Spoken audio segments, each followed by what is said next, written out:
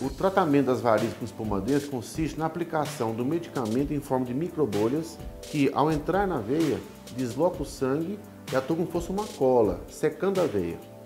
Essa veia, uma vez obstruída, ela deixa de funcionar e vai sendo absorvida pelo organismo.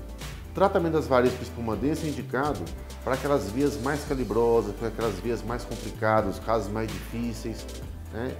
nos idosos, nos obesos e em pessoas que não podem ou não desejam ser submetidas a um procedimento cirúrgico. As vantagens do tratamento das varizes espumadez são é feito no consultório, sem internação, sem anestesia, sem nenhum tipo de repouso. E o paciente faz visitas rápidas ao consultório e volta andando normalmente para casa.